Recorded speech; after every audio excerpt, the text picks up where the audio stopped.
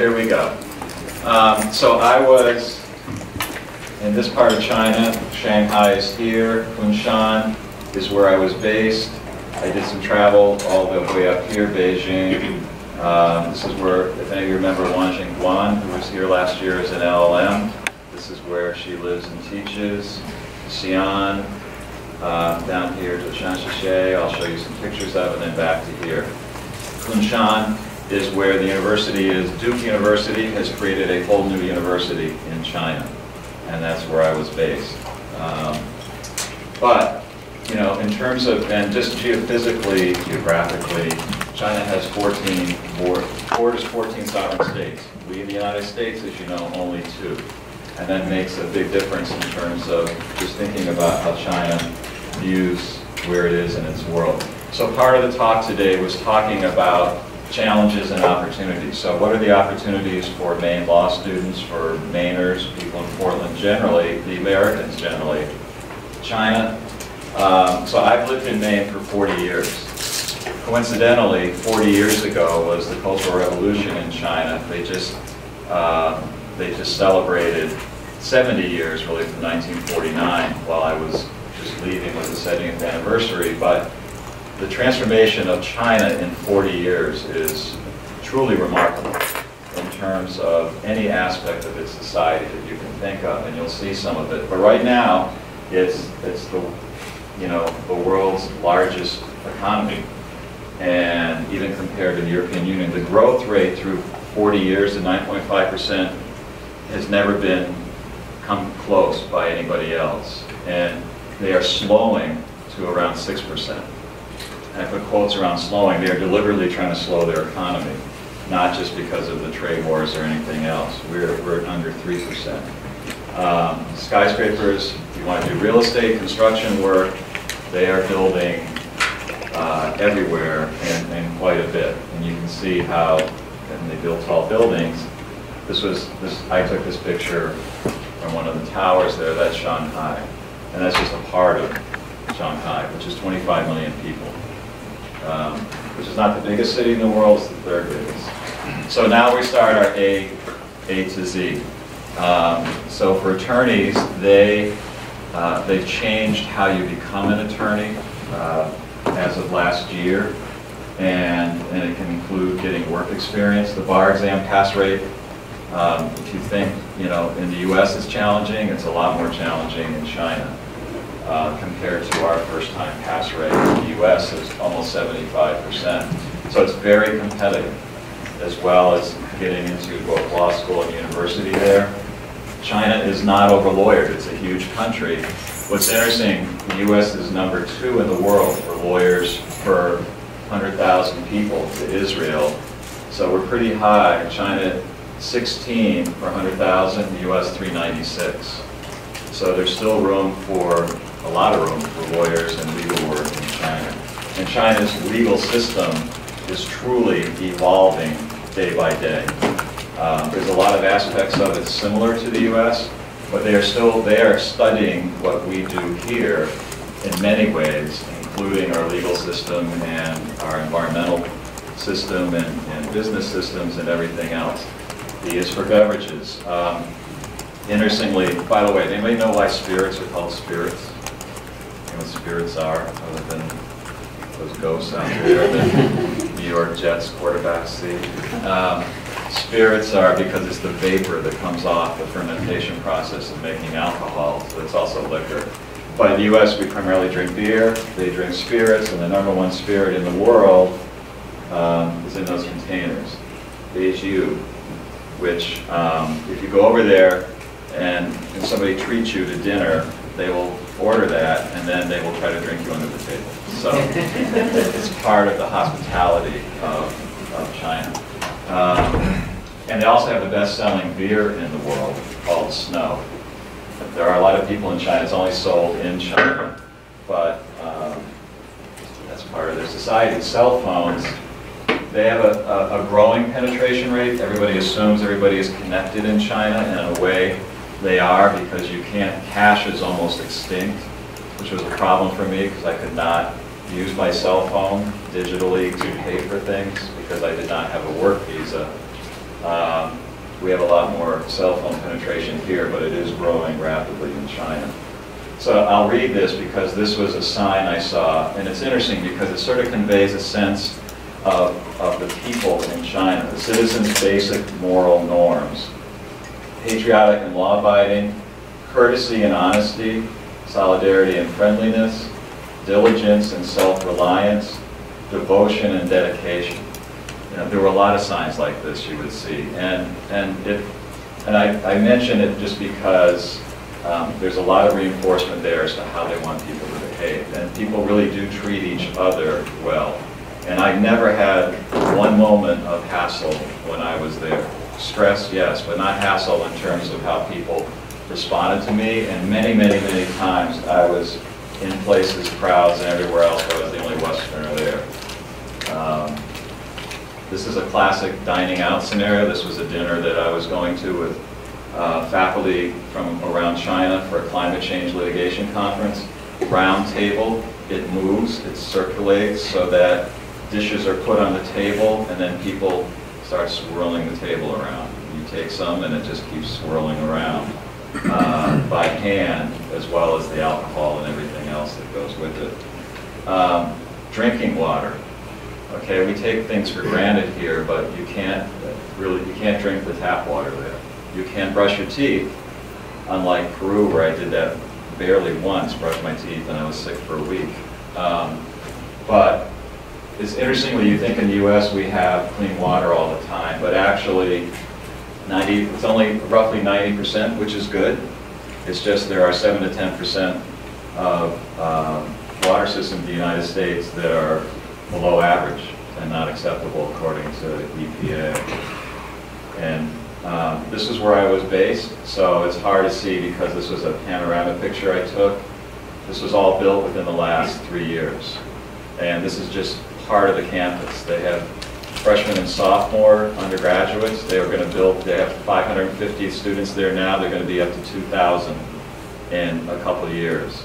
The number two person at the university used to be a Bowdoin College anthropology professor, tenured, who went there. And in his second year, he's vice chancellor. He's hiring 40 new faculty this year. 40. Um, so they're going to, they're growing, they're building a whole separate new campus right next door. So I was taking this picture from my office building where I was based that had just opened a week before I got there. Um, energy and environment, so if anybody's interested in renewable energy, China is the fastest growing market in the world. And you can see how in terms of money spent, just their one country was greater than everybody else that was behind them, practically coming up in the top 10. Um, so they're putting a lot into wind, solar. They have big hydro, obviously, but it's really the wind and the solar. Comparing electricity use, um, I give this because again, it shows sort of what electricity hogs we are in the United States and why I go around turning off lights in this building and why I keep encouraging the Energy Environmental Law Society and others, like why do we have the lights on all night long in the library wing, the access, things like that. But we use a lot of electricity. You can see us toward the right there. We're, we're just barely second behind Canada. You can see China to the far left, India, and and the average in the world is just down here. Um, and I was just just an exhibit A of, uh, or B or F or whatever of electricity use. So this was from my apartment window. Um, I was on the 14th floor of a building. This is looking out. This is a man-made lake. this was this little uh, Western-style shopping area. Duke Kunshan is right here. And this was 7 o'clock at night. And then at 5 o'clock the next morning, those are the lights. So you can see how much they turned off the lights between 7 o'clock at night and 5 in the morning. We don't do that in our country. You don't do that in Europe. It's a big difference. Um, food. Don't try to find peanut butter in the grocery store. It's really hard. Jelly. No PB&Js. Um, fresh milk, pretty hard uh, although it's starting to grow, they're marketing it more um, in cereal products. But I was interested in the fast food scene because I kept seeing Kentucky Fried Chicken everywhere, and it is the number one outlet in China. Way double more than McDonald's. Starbucks also is growing rapidly there. So I thought, what's the deal in the U.S.? You can see Starbucks is, is big, close with McDonald's. So what do you think the number one fast food outlet is in the United States? Subway. Damn, how'd you know? uh, it is, uh, but sorry, I missed the subway one. It's we got like 20,000 subways. I said it's not these. These are, by the way, this isn't a train station. There's Kentucky Fried. These are duck necks and duck feet that you can also buy before you get on the train. Uh, but yeah, Subway, 24,800 outlets. So apparently you guys are supporting Subway pretty well here. Um, Kentucky Fried is only 12. Facial recognition, so people actually were talking to me about that today at a meeting I was at. Um, China has a lot of video surveillance. If you are a taxi cab driver and your front seat passenger doesn't have their seatbelt on, it is picked up on video, it's the taxi cab driver who will be penalized and, and assess certain points that could take away his or her license. But they have a lot of video surveillance, but don't assume we don't hear. As you can see, we have a lot of surveillance cameras and it's growing and we, facial recognition, China has a significant facial recognition system. When you go through the airport, you are photographed, you are fingerprinted, and then your facial, your face is in their system. And uh, they recognize you when you're in other places. The U.S. Um, is now over 120 million adults are in the State Department's system, and that's growing as well. So this is an area, the whole digital privacy issue and, and video surveillance is something that's worldwide uh, becoming more and more in play. London is a heavily surveyed city, but not as much as some of the other ones in China. Gender. You hear about the male-female ratio issue in China. It's a real issue. Um, they had the one-child policy for many, many years, and boys were preferred over girls. And that's now changed. They, they took the one-child policy off the table. However, China still has the most imbalanced male-female ratio in the world. And you can see Armenia and Azerbaijan are, are second and third. And so there, are, there are over um, 33 million guys who feel like they're never going to meet their woman. But the woman, women are also marrying later, as in this society, and it creates some interesting social dynamics, one of which is, this is in Shanghai, this is, they named this, it's People's Park or sort of wedding park or marriage park. Parents come here or relatives and they try to market their child to somebody else, so it's a little bit like matchmaking, but these umbrellas are, they put signs up or photographs up so that people walking by can sort of shop. Um, and, and, this is on a Saturday or, or a Sunday. Um, and again, this is just the age structure. What's interesting in China is that you'll see when I get to retirement age, uh, in terms of when people retire there. But again, in comparing the U.S. and China, you can see that there's this bulge in the middle, 25 to 54 years of age, 48, almost half the population of China is there. The U.S. is a little under 40. We have a lot more people over 65, and roughly similar in terms of uh, youth. This is where the male-female uh, imbalance comes in. We have more male children than females here in the U.S., you can see. And then females outlive males pretty well over here in the U.S. But it's, it's definitely imbalanced in China. But there's this balloon in the middle in China, and they're already worrying about their social security system and how they're going to pay for people as they age. And you'll see, and again, when I get to an R, their retirement age. Guns, Mitch Robert's not here, is he? Uh, firearms. But it's interesting. Um, people don't have guns there. People do not carry guns. It's not something that is generally allowed except with limited exceptions. And same thing with big knives. Those are, are prohibited. And so um, there's some pretty serious punishment, and there have been people being prosecuted lately in China for having what they call relic guns or toy guns that if they fire, they fire a bullet the intensity of which will not break the skin, but they're still prosecuted, still considered illegal. And they've raised those defenses and they've lost, and it's pretty serious uh, punishment. Hiking trails. These are typical hiking trails in China. If you go to uh, a national park or somewhere else, the trails are paved, generally speaking, not tree roots like we have here in Maine, or a lot of steps. So this was Yellow Mountain on the left. This was um, in, I think, Tianmen Mountain uh, in the south over on the right. But the engineering in China is incredible. They, they say China is a country of engineers, and they really do construct things that you'll see in a moment are, are pretty incredible. Um, this is hard to see, but this is a little, see these columns here, the edge of this cliff? You walk along that.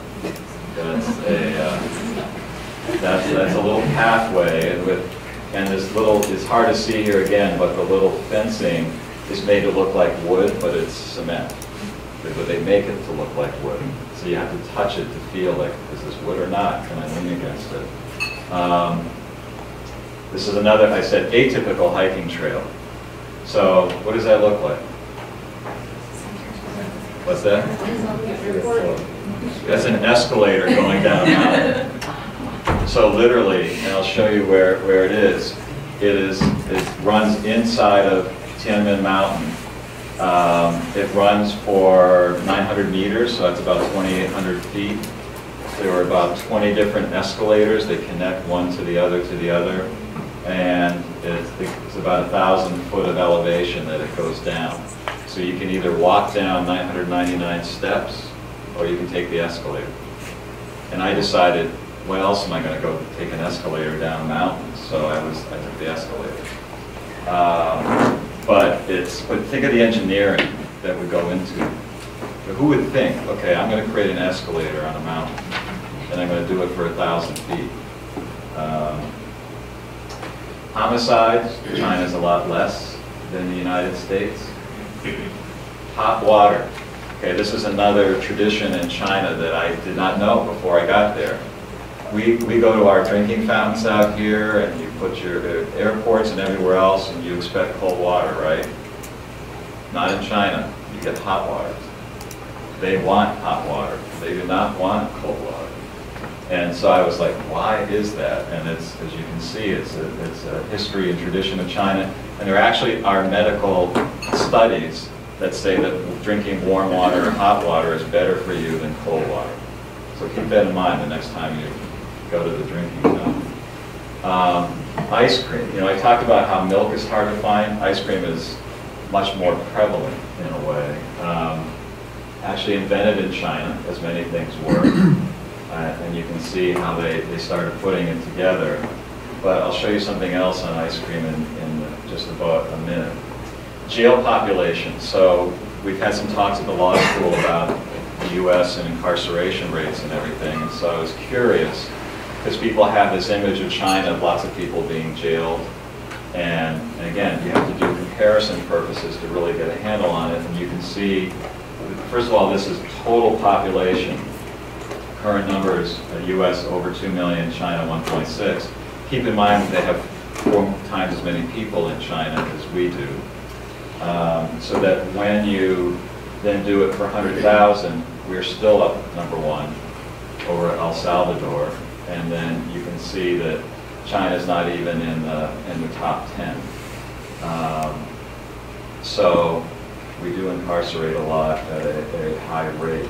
And this was just, I put this up here, I'm not going to spend time on it, but I was curious, this is another chart I found, because I always think of jails, you think of jails as people who are not prisoners, but we house a lot of prisoners in local jails, 612,000 compared to 1.3 million in state prisons. Um, anybody have an idea what that might be? You're not going to guess. It's a it's owned by a Finland company. This is in Kunshan, 773 high. It's an elevator testing facility. so I, this was taken from a car. That's why it looks like it's leaning. And I saw this and I thought, what in the world is that?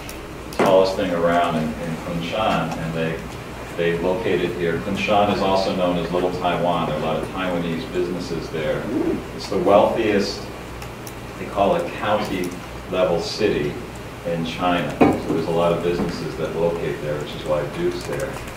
So what do they call lobster in China? This is a little hard to read. They call it Boston Dragon. now, they could at least call it Maine Dragon, right? I mean, dragons have certain powerful symbolism there, but I thought this was in a restaurant, they had that. Mooncakes, so students be, be ready on this because traditional Chinese dessert, mid-autumn, so it's usually in September, mid-September. Um, and they, uh, so they, they have something called a National Teachers Day, which is right the day before almost this holiday. And so students give teachers gifts. Keep that in mind. Uh, so um, I didn't get this, but one of my colleagues did, and she does not like mooncake, so she gave it to me. So I lugged this all the way back, but it was filled with these mooncakes, which after eating one or two, you just are done. So I give the rest away, but then some tea. So again, this is just for ideas for when you give gifts to your teachers this year. but here, if you see these on the right, Haagen-Dazs mooncakes. Um, when I was in Shanghai, I saw these long lines of people with these tents. It was like, what is going on? They order and line up to buy these Haagen-Dazs mooncakes because they're made out of ice cream, not the heavy, high-calorie substance that mooncakes usually are. So literally in a day and night, people are lined up to buy these. Um, and then I say, so mooncakes and music for teachers. So this is Wang Jing here. And um, I, I got one of the little flags from this. So they had a singing competition. So Anthony, be ready. This is uh, for teachers. Teachers at all the universities in the country had to compete against each other, and they were videoed um, because they had to sing this particular national celebration song for the 70th anniversary. So can you imagine your professors doing that? If you gave them enough gifts, maybe they would. Um, the number nine, okay, the number nine is a powerful symbol in China as well, which I did not know until I was there. Um, so this door is in the Forbidden City in Beijing. See these little gold sort of inset balls there? There's nine across and nine rows down. The number nine is associated with the emperor and power, and you can see long-lasting eternity. Over to the right, that's not a fake picture. That was that mountain that I said had the escalator. To get up this mountain, they have this road with 99 curves. But it's only 99, because you don't want 100, and you don't want 98. It's the double nine symbol. And you can see Forbidden City was supposed to have 9,999 rooms.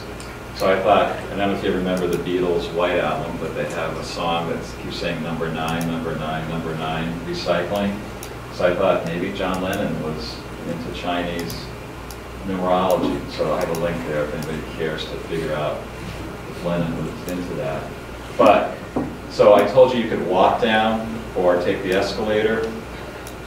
These are the steps you would walk down, 999 of them. Um, and this cave it's called Heaven's Gate, and it, it's pretty incredible. It's um, 1,200 meters above sea level, natural, and you, they sometimes they have jets fly through it. And you'll see, I'll show you something else that, that people tries to fly through it, or does fly through it a little later. Um, obesity, I was curious. Generally, you don't see too many people who are obese in China, at least I didn't.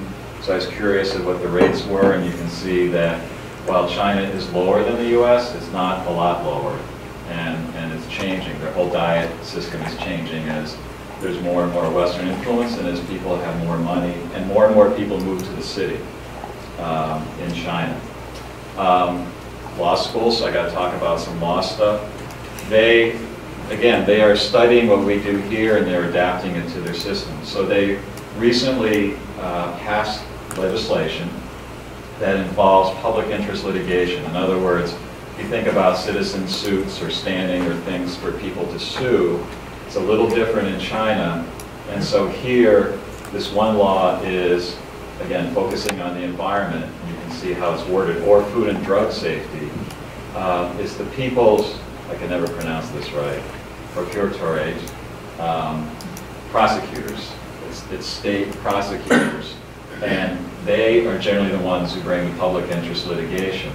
However, they, um, you know, they can sue the state. You know, pub, uh, nonprofit groups cannot sue the state. And so you can also see that one of the remedies that they can pursue is an apology, which we don't have in this country. Um, but there's a second type of public interest litigation, which is called administrative, where you're essentially like administrative law here, those of you who've taken my class or et cetera, where you're challenging an agency decision. And again, the prosecutors who are state employees bring these cases against other essentially state organs, state entities, and, um, and, and seek remedies. And so that's their system, and, and again, it's evolving. Property rights is also interesting because there's this sort of thought process that nobody has, nobody owns property in China but the state. And that's somewhat true, and I was, I kept trying to figure it out while I was there because people live in homes and they pass it on to their children and that. And I was trying to figure out how do they do that. And partly it's, this, it's a land lease of 70 years um, under some of it. And so a lot of the villages, that's how it works. But this is, the law it is changing currently in China so that, um, again, foreigners are starting to be allowed to buy a home. You can buy a house, but you buy the building. You don't necessarily own the land underneath the building. So that's part of the distinction in terms of property rights. And, and this is, again, urban, rural, sorry, I guess I didn't have the rural, but rural is a little different, and again, tends to be more of these long land leases. But China is starting to think that, gee, we might get more investment and people might be more secure if they had longer property right interests. So they're starting to slide a little bit toward the Western system, but, but again, in terms of owning buildings, but maybe not the land underneath. I almost forgot Q today when I was doing the alphabet, so I remembered. This is uh, quartz sandstone. So this is one of the towers. They can be um, over 3,000 feet high, these sort of pillars. And uh, I'll show you a little later what these inspired, but there are thousands of these in this national park in central China. It's pretty spectacular. But here's the, the rural, sorry, the rural ownership. You have collectively a village can own um, sort of pieces of farmland that then gets farmed, but you have a 30-year contract and now they're extending it another 30 years. And so again, this is evolving, this was 2019. Um, so they're still dealing with how do they adapt their system to a, a, property rights ownership system. Here's my retirement slide. See the retirement ages? So it's pretty young. Those of us who are older think it's young. Um, you young guys think it's pretty far off still, but what's interesting is, again, they're already seeing the bulge coming that I showed you, the 28 to 54 year olds, that big population bulge, so that's why they're going to move out that retirement age. In, in Europe, if you add one year to a retirement age, people go on strike and they revolt. You can see China's going to make some pretty dramatic changes in their retirement age. But life expectancy is not much less in China than here. So people retire early and they live quite long, retired. And so that's a, a cost on the, on the state in terms of pensions. And also it tends to be people, they go to the city to work, and then they, when they retire, they go back to their home villages. A lot of people do. Um, now I'm going to see if this works. So um, rock music in China is a little different from rock music here.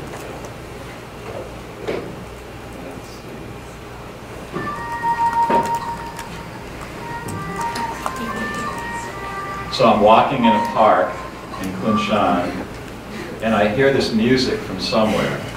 And I look around, there's nobody behind me. I look to the side, I look to the front, and I don't see anybody, and I'm saying, where is this music coming from? And then I look down. So this is not atypical. There are other parks where you walk along and there are rocks that play music.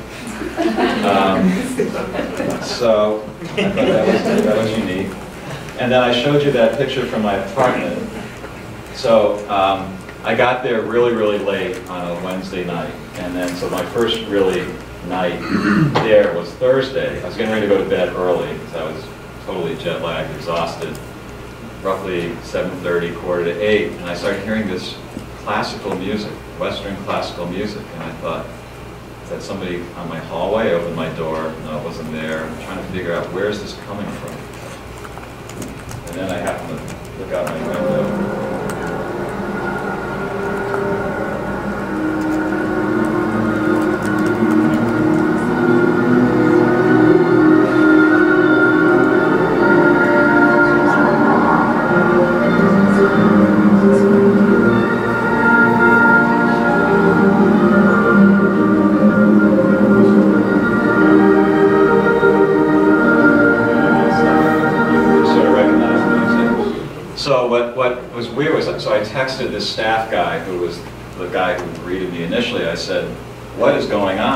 said, well, there's probably somebody important who's in town, and so they're doing this. I thought, wow, it's my first night here.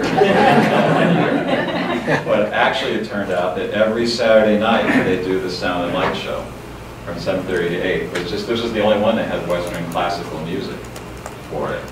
Um, I took a lot of pictures of these things. It was sort of cool. Um, Kunshan, so the streets in Kunshan, I said they have a lot of money, pretty wide and all that. But the thing that really interested me is you see this here? That's not for cars. That's for bicycles or motorbikes. It's as wide as our streets. This is where the cars are, over here. So, I mean, and, and it's actually not as many people drive motorbikes and bicycles as other countries I've been in, like Indonesia and Vietnam, where there's just, most people have those, and it's mob, but they still have pretty wide bike and, and motorbike lanes. More and more, if I close my eyes and you, if you went to China, and closed your eyes, and looked at the cars people drive, you would generally think you were in, a, in Europe or a Western country. They don't drive the big pickup trucks and SUVs we do here, but the cars they drive are the same kind of cars if you drive a four-door car here. Very similar. European cars, American cars. Um, it's not the tiny European cars you often see. Saving money. Chinese save money. Uh, you see the U.S. 7.6%, 47% in China. So they're very, very frugal, um, which means a lot of money being saved. All right, so I talked about the bar exam and the pressure for taking the bar, the low pass rate. So again, um, Wan Jing, who was here last year, has a 14-year-old daughter. She's, I think, in eighth grade, so she's going to be taking these exams to get into high school. She's in Beijing. And she literally and her classmates study seven days a week, night and day, uh, because they are studying for this exam, national exam. And, and you can see, originally the acceptance rate was very low because there weren't that many universities at the time in China. Now it's much higher, but the schools are ranked.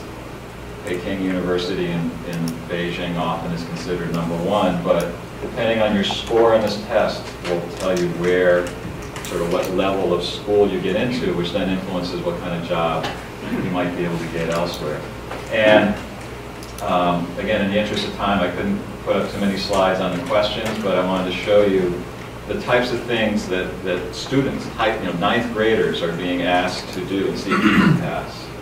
Um, like, do you have a deep passion for in your soul? Choose a plant, animal, or utensil to write about. Anybody here into? Spoons? Could be an interesting essay. Or you know, who's the most glamorous person? so some of these questions are interesting as to what's the subliminal message that the examiners are trying to get at. Um, and here was another one that I thought, again, sort of, if, if you take a moment and read it in terms of the values system that they're sort of conveying.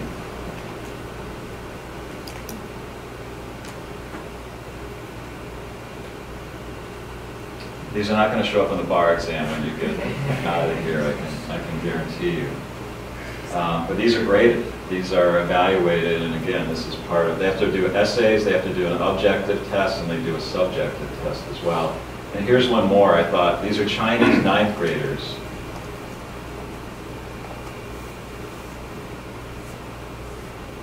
I couldn't answer this question, I don't know how they, they were able to answer the question. But this is, this is what the China, you know, most, most Chinese students now are studying English.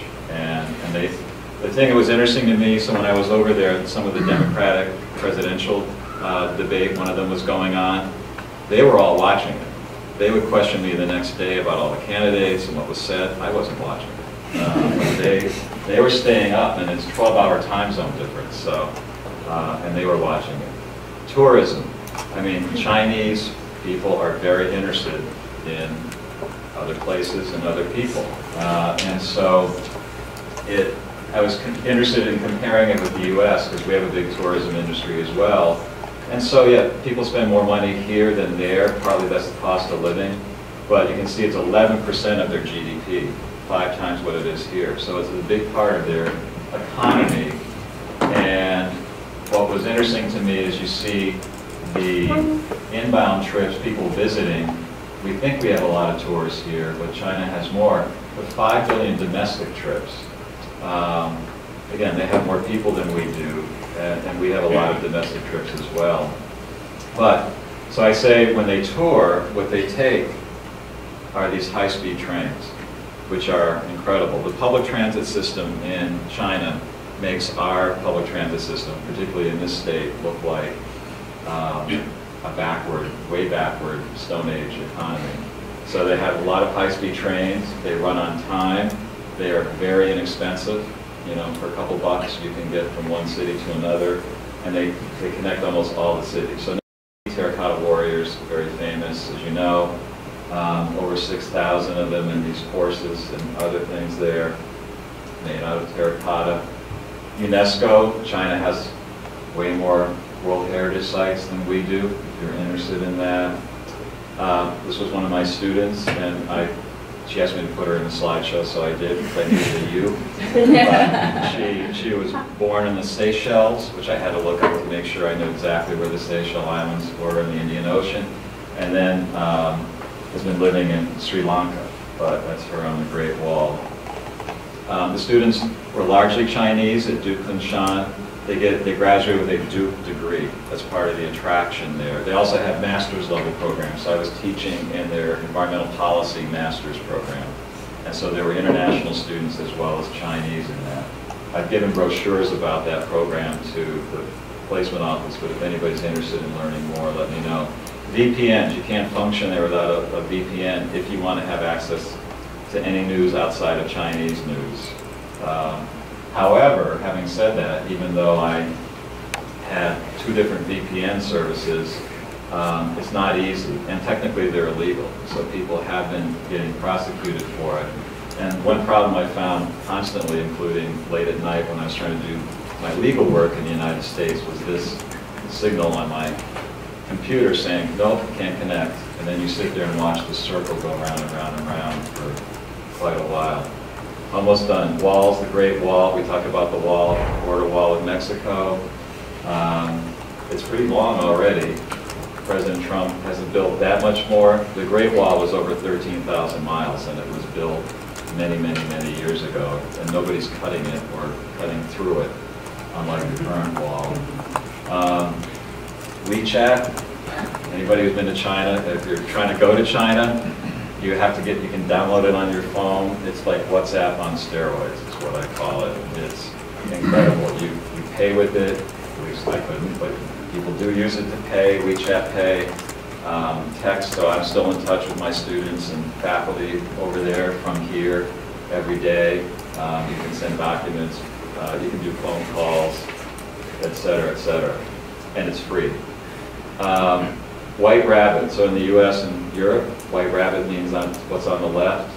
In China, it means this candy called White Rabbit, uh, made out of Shanghai it's pretty tasty, but everything is wrapped.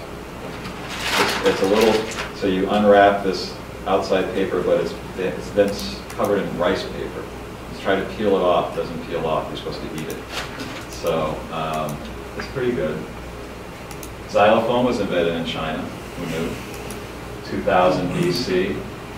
Um, Yellow Mountain, if you've heard of Yellow Mountain, it's also called Huangshan Mountain. Again, it looks like that other uh, peak that I showed you, the quartz sandstone, it's slightly different rock. And this is the national park I mentioned. So if you look at that and you see all these pillars, and there are thousands of them, does that remind you of any movie? Whispers.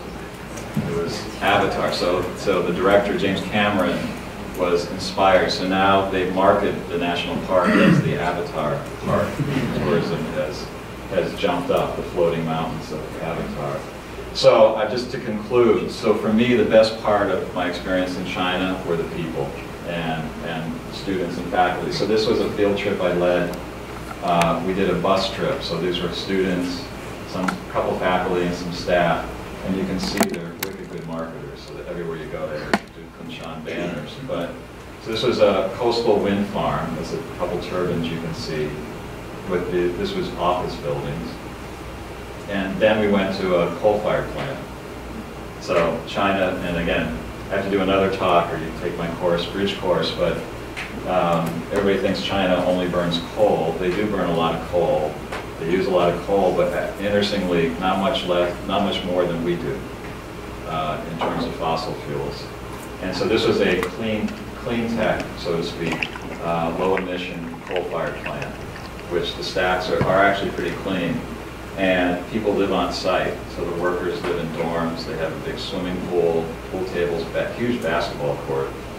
Um, This was my last class there, these are some of my students uh, from Philippines, Singapore, um, Kashka wasn't there, Sri Lanka, most of them again Chinese, and, and the classrooms were, were great, of course. Uh, and I, I close with this, uh, she was a sophomore in Munster, she went on the bus trip, that's how I met her.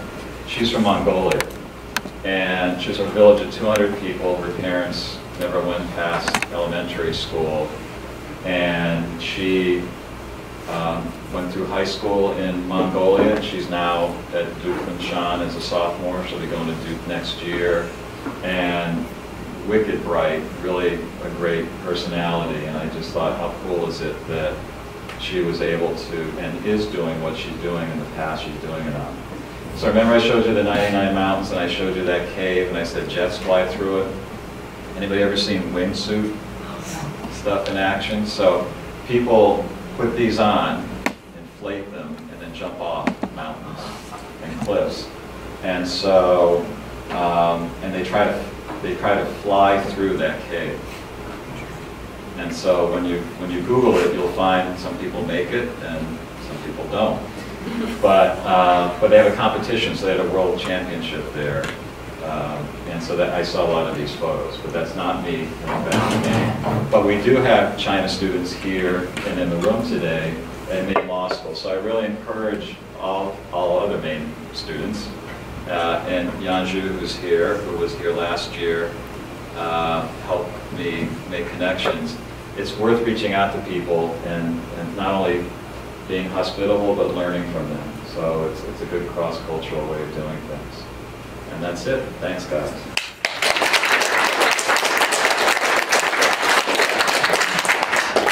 Uh, Thank you guys all so much for coming. Because we're out of time, Professor Thaler can certainly take more questions out in the lobby, and hope that you all join us next week for the final faculty speaker series event with Professor Smith.